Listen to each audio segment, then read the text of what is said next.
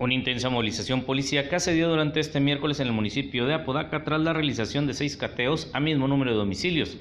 El saldo que dan las autoridades de la Fiscalía de Justicia de Nuevo León es de dos personas rescatadas de secuestro, dos presuntos delincuentes abatidos y seis detenidos. Esteban Cantú, titular de la Agencia Estatal de Investigaciones, indicó que las revisiones domiciliarias se concretaron tras obtener las órdenes por parte de un juez de control.